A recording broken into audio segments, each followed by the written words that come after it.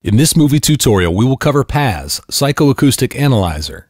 This plugin is a real-time analyzer based on our hearing, which shows 52 or 68 bands with RMS, peak, weighting, variable integration time, and more. Depending upon the host application, high-end configurations will show four instances of the plugin. The Paz Analyzer is the full plugin that shows all three measurement functions. It has the greatest draw on CPU graphics power. Paz position shows only the stereo position display and its related controls. Paz frequency displays only the real-time frequency analysis and its related controls.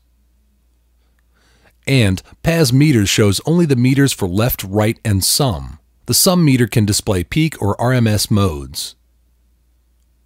We are going to use the full plugin to demonstrate all aspects of Paz. Let's check out the controls. We will have to play some audio through Paz in order to view the graphic representation and control available. The frequency window is where we see the real-time analyzer and the controls for viewing it. Much effort has gone into recreating what we hear as something we see in this plugin. The LF or low frequency resolution control should usually be set to 40 Hz, as it is this setting that most closely emulates what we hear. At this setting, there are 52 bands, which correlates with the constant Q critical frequency bands of the human ear. You can set the LF resolution lower to 20 or 10 Hz, which provides up to 68 bands for highly detailed and technical uses. The Detect button gives us two choices, Peak and RMS, and they are modified by the response control. Peak detection mode displays peaks in each frequency band, and the response time simply controls the release of the meter.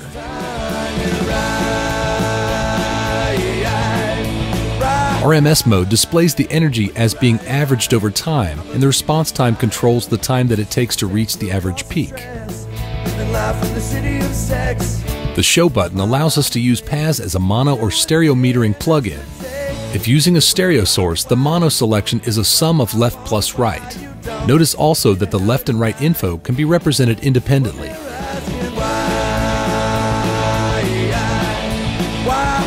The weight button shows three weighting curves.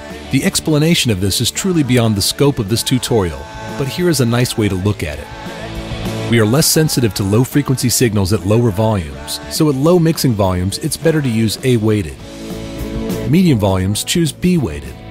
And at high volumes, for critical testing, use C weighted for proper display behavior. The freeze button freezes the display until deselected. This is handy for viewing a troublesome frequency that occurs in a short section or burst. The peak and hold show hide button allows us to see an infinitely updating peak hold display shown as an orange line in the RTA and the stereo field. Next to this button is the clear button for the peak hold function. You can click on the frequency display to drop a crosshair cursor that is helpful in finding problematic frequencies and their amplitude. Click and drag the crosshair to the corner to hide it. You can Option or Alt click on the graphic RTA display to zoom in, and then you can click on the zoom reset to zoom back out. Clicking and dragging on the zoom controls is another way of changing the display. The stereo position display.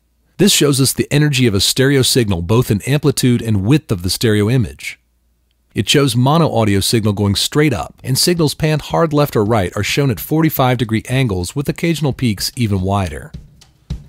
Out of phase signals are shown as between 45 and 90 degrees and in red anti-phase to warn you that you might not like the sound of this effect.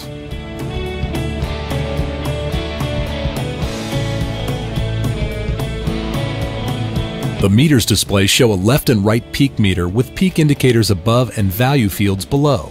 Between these is a summed loudness meter that is a better gauge of loudness for mastering a compilation of songs. Having been a mastering engineer for a few years, I have come to rely upon Paz for visual representation of my processing and in order to create a more cohesive master. Let's play some audio and then vary how we analyze this audio example.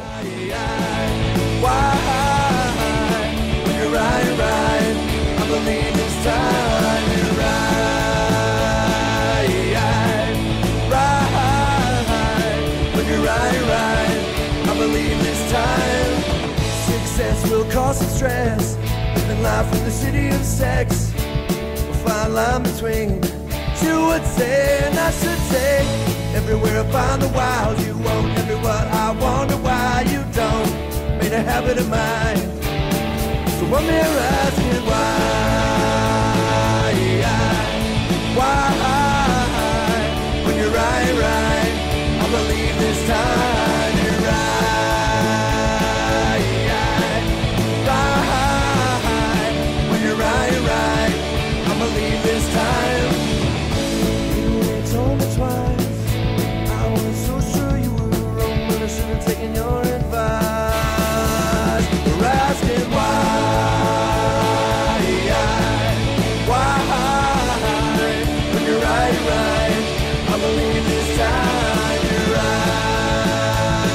Paz is an indispensable tool for myself and many other engineers out there that need some visual representation of their audio processing in order to create a better product.